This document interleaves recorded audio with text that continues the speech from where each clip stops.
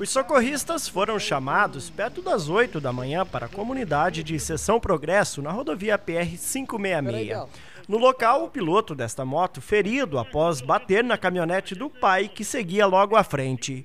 De acordo com informações no local, o pai reduziu a velocidade para acessar a propriedade do filho quando ele não conseguiu segurar e bateu na traseira. Ele sofreu suspeita de fratura no fêmur e foi removido ao hospital regional pela ambulância do SAMU.